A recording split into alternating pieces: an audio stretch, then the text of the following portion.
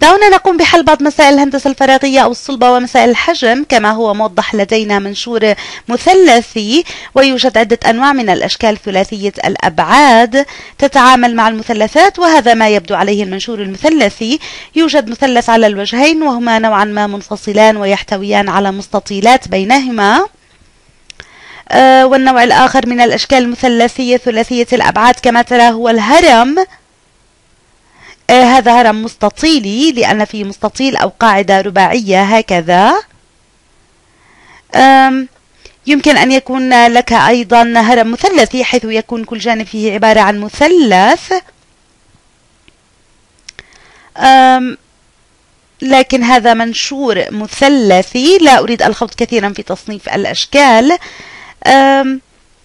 إذا كانت قاعدة المثلث B تساوي سبعة وارتفاع المثلث هو H يساوي ثلاثة وطول المنشور هو L يساوي أربعة فما هو الحجم الكلي للمنشور؟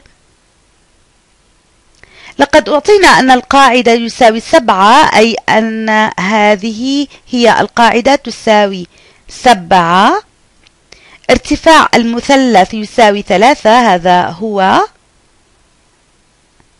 هذه المسافة h تساوي ثلاثة وطول المنشور يساوي أربعة وأفترض أنه عبارة عن هذا البعد هنا ويساوي أربعة الطول يساوي أربعة.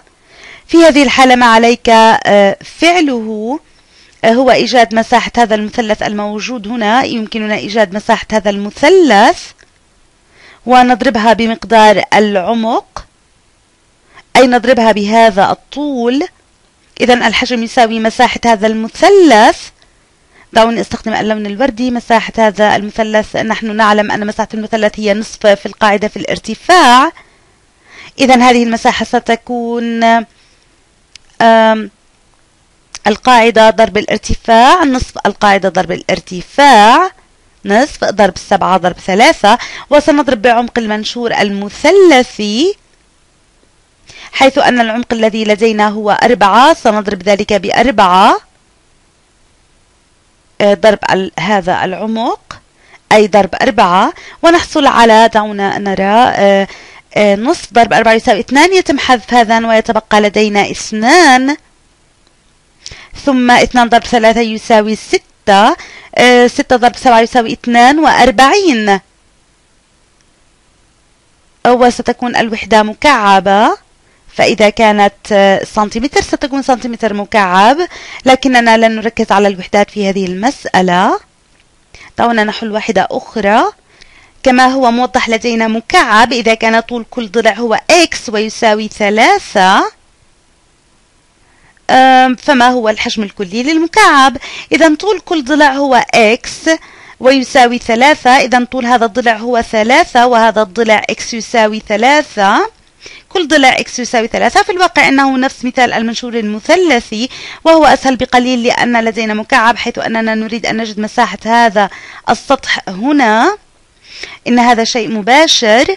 إنه مجرد مربع سيكون القاعدة ضرب الارتفاع. أو بما أنها متساوية فسيكون ثلاثة ضرب ثلاثة. إذا الحجم سيكون مساحة هذا الحيز. ثلاثة ضرب ثلاثة. ضرب العمق. ضرب العمق. إذا العمق هو ثلاثة. إذا ضرب ثلاثة. آه، فنحصل على ثلاثة ضرب ثلاثة ضرب ثلاثة ويساوي سبعة وعشرين. وربما أنك تدرك هذا من الأساس حيث أنه يعادل ثلاثة تكعيب.